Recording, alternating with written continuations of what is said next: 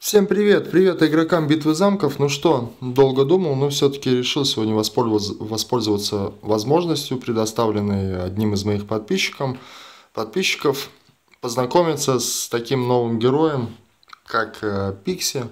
Так она, в принципе, на английском называется, как она будет называться на русском, когда она уже обновление выйдет на наш сервер, непосредственно не знаю.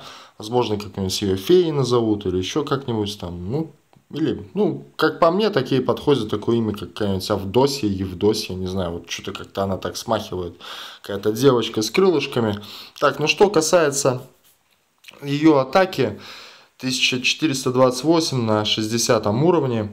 Ну, а эта атака, в принципе, больше, чем у всех а, героев, которых можно купить за кристаллы героев, ну, если не считать ниндзю. В принципе, да, она где-то такой среднячок, как между Аресом и уже непосредственно какой-нибудь смертью, да, по атаке. Потому что Арес ее опережает, там на 60 уровне будет 1600, ну вот у нее 1428. В принципе, она схожа с таким героем, как э, буль... бульдозер по атаке. Что касается здоровья, тоже здоровья немало. Да, то есть она какой-то слабенькой девочкой не будет. Даже если учесть, что вот у нее тут крылышки и такая интересная магия, да, основная, когда она будет бафить, э, снимать баф э, с трех э, вражеских ваших, э, так сказать, оппонентов, да, героев, и э, снимать дебаф э, с, непосредственно с ваших союзников, остальных ваших героев. Так, ладно, давайте тут уже тогда что-нибудь пойдем куда-нибудь в подземелье. Я вам тогда уже по, по ходу дела, что тогда что-то буду объяснять. Так, давайте сначала, я думаю, магию включу, куплю.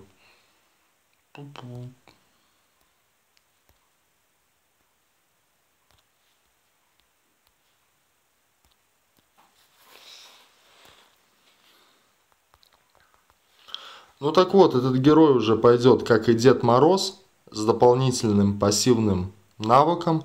То есть это уже будет второй герой с такой вот фишкой причудливой. То есть можно поставить, уже будет три пассивных магии на этого героя. Я предполагаю, что разработчики теперь так будут делать на каждом новом герое. Такая вот пошла новая фишка у них, не знаю. Что касается то, что вот добавили очередного донатного героя, там баланс нарушен. Ну, по поводу баланса, я не знаю, я бы не говорил так заранее. Во-первых, я не думаю, что он будет настолько имбовым героем, как какой-нибудь Арес да, но в любом случае, как оппонент Аресо, из этой девочки получится хороший. И я бы сказал, что даже наоборот хорошо, что добавляют еще одного героя. То есть я и говорил уже раньше, когда разговар... э, объяснял по поводу Деда Мороза. В принципе, чем у нас больше разных героев с разными магиями, которые друг друга не повторяют, тем интереснее будет играть. Кому-то выпадет эта фея, кому-то выпадет, как мне, Арес. Главное уже в игре как каким-то образом магическим выбить тыкву, и тогда уже, в принципе, можно комфортно, интересно играть. Ну а какой-нибудь уже со временем другой герой вам обязательно выпадет из редких. Так, ну вот, что касается атаки, она никого там сильно не опережает из всех там таких как Шапка, там Арес героев, но при этом она и не отстает от э, более слабых героев, которые можно купить за кристаллы героев. Слабенькой не будет меня больше беспокоит по поводу, по поводу такого героя, которого можно будет приобрести только за донат на 400 тысяч самоцветов. Вот там, возможно, какой-нибудь балансик и нарушится. Что я думаю, что там какой-нибудь читерский герой, наверное, будет. Все-таки 400 тысяч самоцветов это довольно большая сумма. А сегодня вот просто сам вот тоже вместе с вами решил познакомиться с этим героем. Не удержался, согласился. Ну вот, посмотрим, как она себя ведет непосредственно э, в пылу сражений, пускай нету тыквы, пускай тут все герои не прокачанные, одни из первых подземелий. Так, ну, конечно, информации я там не нашел, подробной какой-то статистики, когда там пишется э, там вся информация по поводу на каком уровне какая будет атака, заходил на английскую вики, но там еще ничего не было, возможно, где-то там в другом месте есть все это дело, но я не нашел и особо сильно не искал, потому если вы увидите, то там отпишитесь в комментариях, да, какую-нибудь ссылочку. Но в любом случае, я думаю, уже скоро станет все понятно, когда выйдет обновление и на английский сервер, потом и на наш русский сервер выйдет. И надеюсь, надеюсь, что нам не придется слишком долго ждать.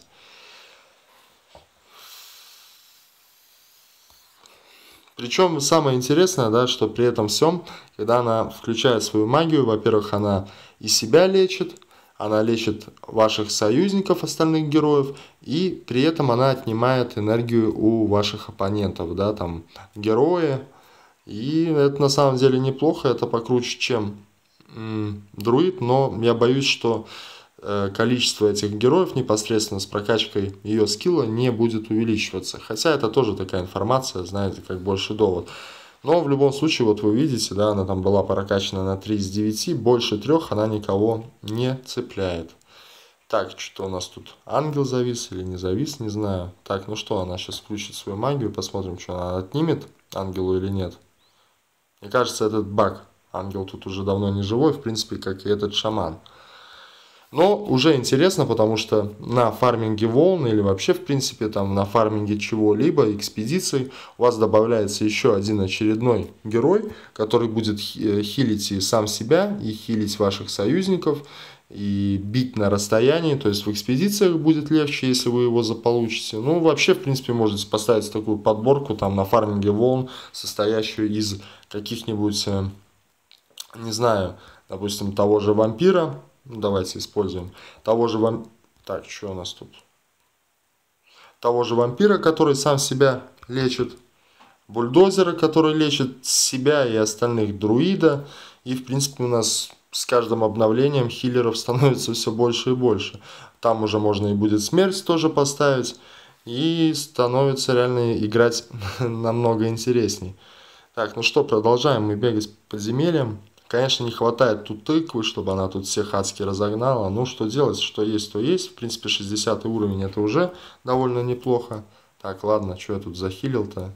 Даже ниндзя не успел подлечиться.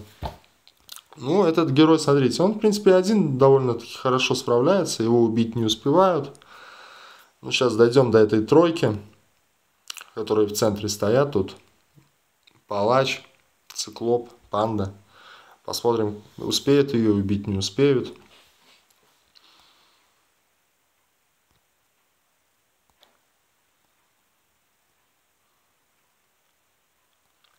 В любом случае, э, какое-то понятие уже основное, да, что будет с этим героем, как он себя поведет в таких вот сражениях, там, как, не знаю, с Аресом и так далее, как он будет себя вести при ситуациях, когда у кого-то стоит все-таки реанимации, вот тогда мы уже сможем говорить, это такой читерский герой, как Арес или нет, и уже тогда можно будет окончательно уже говорить о балансе игры. Сейчас пока я думаю, что рановато. Давайте сходим еще в экспедицию не в экспедицию, а уже в рейд непосредственно.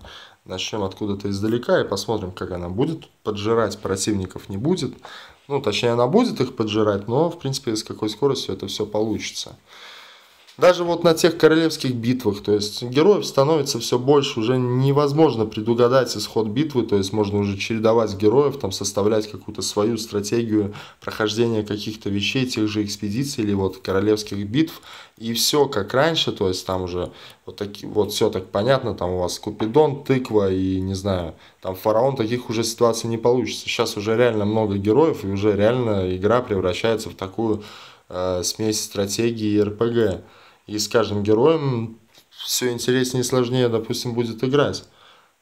Раньше что там, поставить человек, Купидона, там тыкву, друида, фараона, там, не знаю, смерть или шапку с миносом и все. Теперь уже так не получается. У кого-то там снеговик, у кого-то вампир, у кого-то арес. И уже нужно как-то искать ходы каждый раз, подстраиваться под все это дело. И это достаточно трудно, но интересно. Главное, чтобы все-таки у вас была тыква и удача принесла вам одного из донатных этих героев. Там уже можно тогда что-то крутиться, как-то искать выходы из ситуации. Так, ну что, вот в принципе она всех и сожрала. То есть для экспедиции этот герой очень хорошо пойдет. Так, давайте зайдем на арену.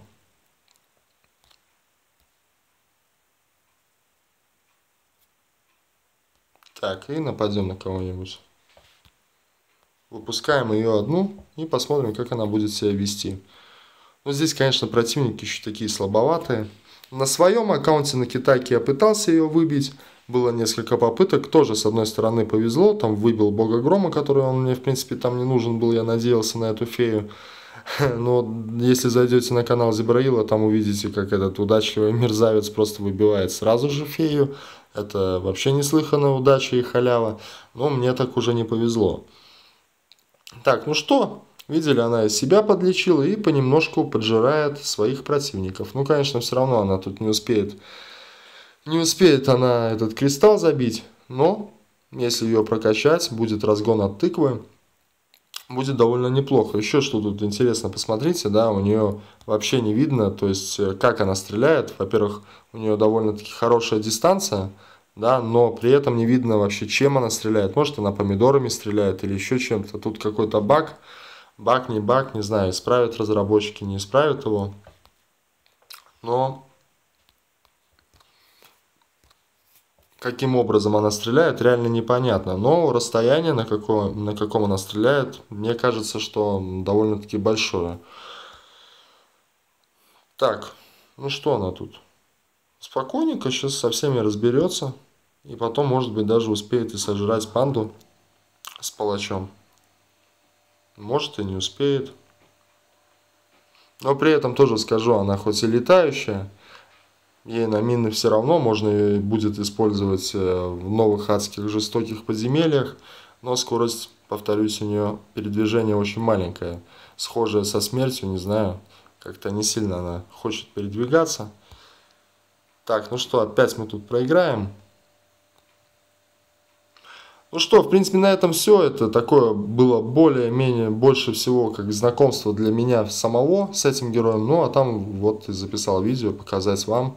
Потому что как-то хотелось погонять нового героя, посмотреть, как это все будет выглядеть, когда ты уже сам тут куда-то бегаешь, какие-то подземелья, еще что-то. Как-то уже хотелось самому составить такое предварительное мнение об этой девочке. Но в любом случае, если подвести итоги, можно сказать, что это очень интересный, забавный герой.